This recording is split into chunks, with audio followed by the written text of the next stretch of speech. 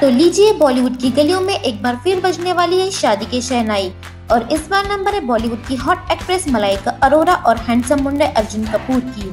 करण जौहर के show coffee with करण में अपने प्यार का इजहार करने के बाद मलाइका अब अपनी शादी की खबरों को लेकर चर्चा में है। खबरों के मुताबिक ये हॉट कपल 19 अप्रैल को शादी के बंधन में बनने वाला है। दोनों ही क्रिश्चियन रीति रिवाज से शादी कर सकते हैं। मलाइका की बेस्ट फ्रेंड करीना कपूर और अमृता अरोरा उनकी ब्राइटमेट्स होंगी। खबरों के अनुसार शादी में बुलाए जाने वाले मेहमानों की लिस्ट भी फाइनल हो गई है और दोनों के रिलेटिव्स और क्लोज फ्रेंड इसमें शामिल है। दोनों ही ने अपने टीम जिसमें हेयर स्टाइलिस्ट मेकअप आर्टिस्ट शामिल है, को पूरी तरीके से चुप रहने के सख्त निर्देश दे दिए हैं, जिससे शादी से रिलेटेड कोई भी डिटेल्स बाहर न जाए।